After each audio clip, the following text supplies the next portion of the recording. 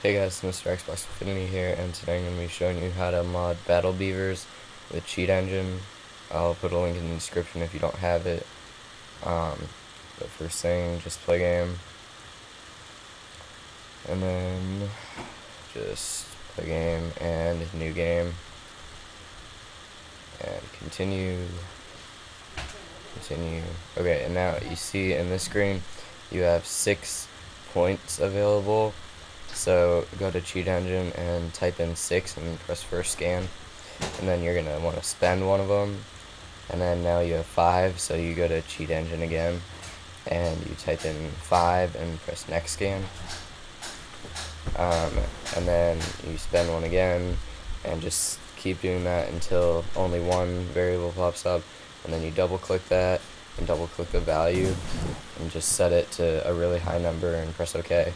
And then click the active box right there and then go back to the game and now you can just spend all you want and basically it won't go down. Um, but another thing you might want to use is this thing called RS client and it clicks for you. So like if you set it right now to click you could make your skills go up like really high.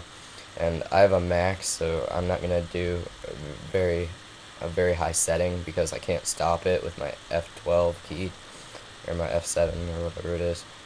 Um, but yeah, you see it's clicking for me even though I'm not actually clicking. Uh, yeah, but just stop it now. Okay. and now you can just uh, make all your skills go up as high as you want them and then uh, press continue.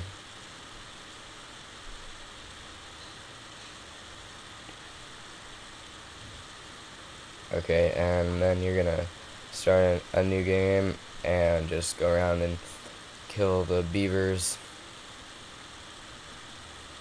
It's actually a fun game. Um, and then just keep on killing them until the level ends.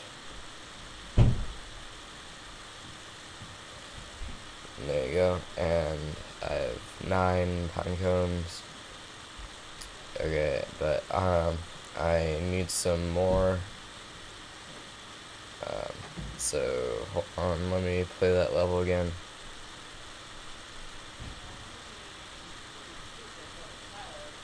Okay. Put this on his when he's done.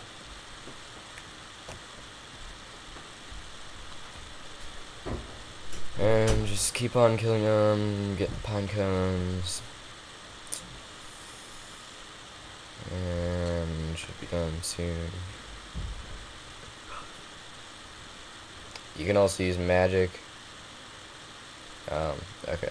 So now I have 75. So your first scan is going to be 75 and press first scan. And then you're going to uh, go to the shop and buy something, buy the bone. And then now you have 35. So you're going to type in that. And then uh, it should be a value and then click on, double click on the value.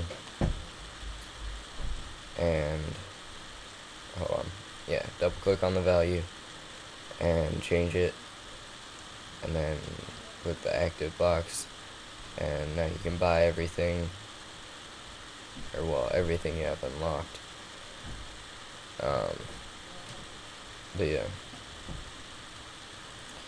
And you can just put all the stuff on them and you're good to go. Um, so thanks for watching guys and don't forget to comment rate subscribe